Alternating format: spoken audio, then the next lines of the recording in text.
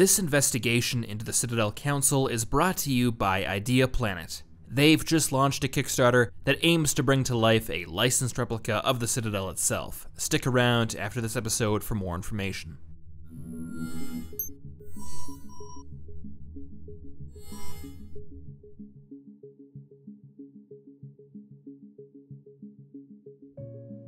As if almost by design, every civilization to emerge upon the galactic stage will do so in a similar manner. Once the first tentative expeditions are mounted beyond the boundaries of their native worlds, their ships will uncover the mass relays, the greatest achievement of the long extinct Protheans, through which interstellar travel is made possible.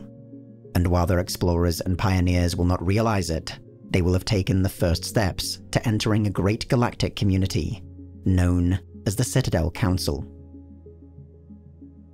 Officially, the Citadel Council is a supranational union, binding together a multitude of species and civilizations into a cohesive interstellar society. It possesses no formal authority over the governments of its members, but rather acts as an instrument of intergalactic law. Through various laws and conventions, it codifies the major principles of interstellar relations, from the sovereign equality of its members to prohibition on the use of force.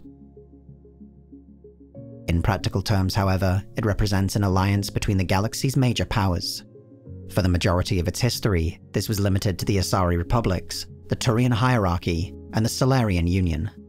In 2183, however, this grew to include the Systems Alliance.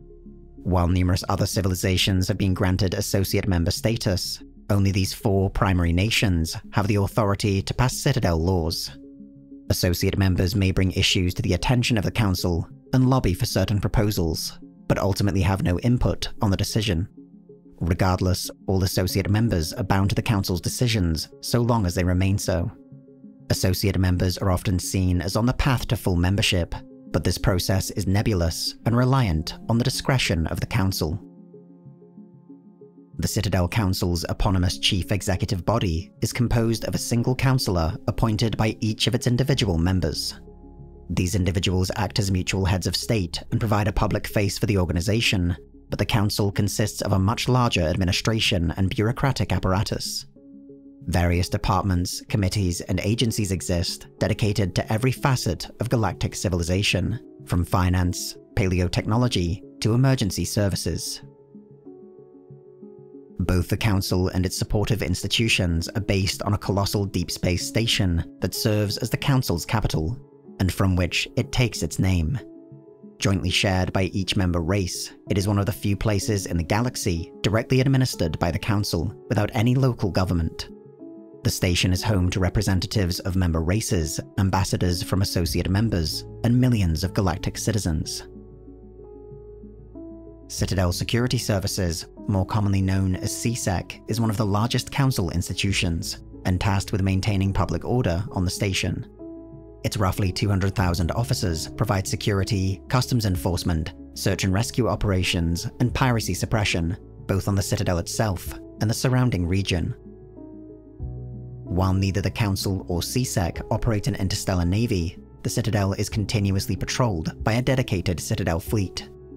This force is made up of warships drawn from each of its member nations, with Turian vessels in particular making up the bulk of the Armada.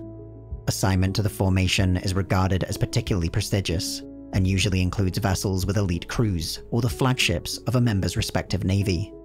The Destiny Ascension, flagship of the Asari Republics, was one such vessel, and estimated to have equaled the firepower of the rest of the Asari fleet combined.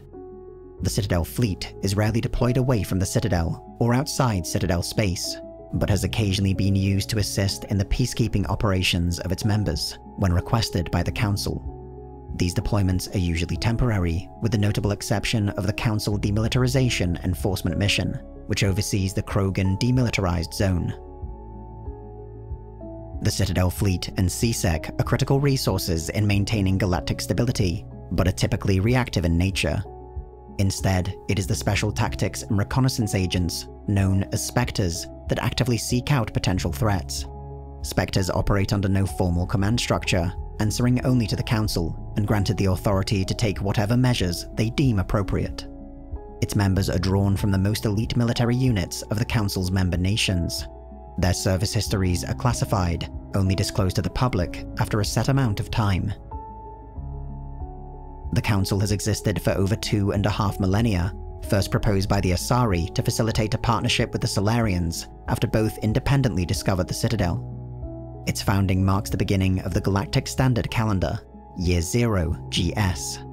Rapid growth was achieved in the ensuing centuries, and first contact was made with dozens of species who would go on to earn associate membership.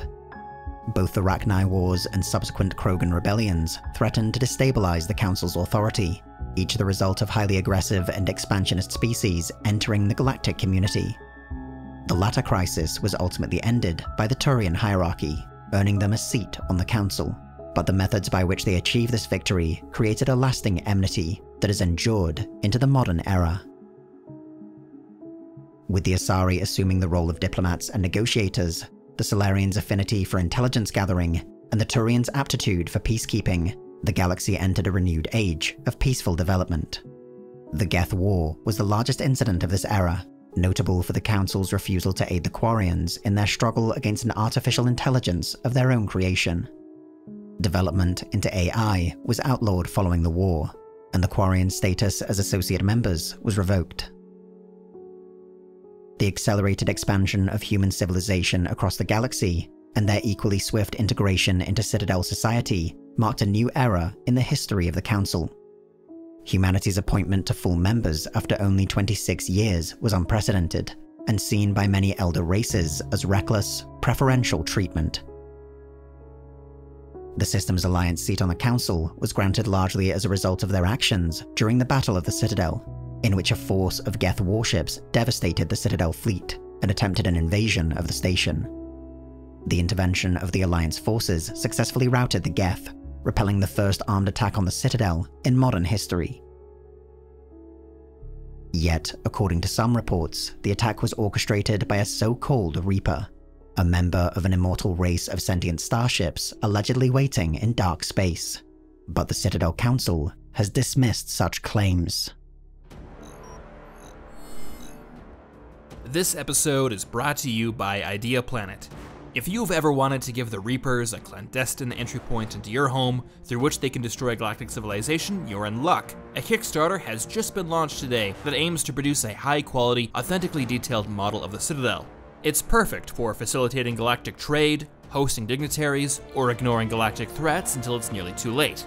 Idea Planet has been behind some of the best merchandise from your favorite alternate worlds Bioshock, Fallout, Halo, Destiny, Far Cry, really the list goes on, and the quality is always spectacular. So, if you'd like to get a model of the Citadel, you'll find a link to the Kickstarter in the description.